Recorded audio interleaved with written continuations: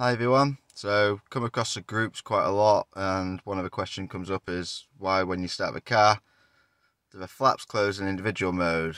This is an override really basically on the Audis where the flaps automatically close every time you turn the car off and you always have to go back into sports mode to do it. Simple as you can see, individual mode. When you're in there, obviously make sure you've got the the engine engine sound in dynamic as you see everything else in comfort to keep it steady but I like the sound on. Engine sound dynamic. As you can see I'm currently in individual. Start the car.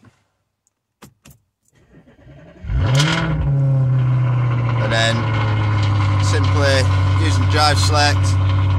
One two three four. There you go. Flaps stay open so every time you start the car, just one, two, three, four on the drive select and your flaps open every time. Hassle, but it sounds great. See you soon guys.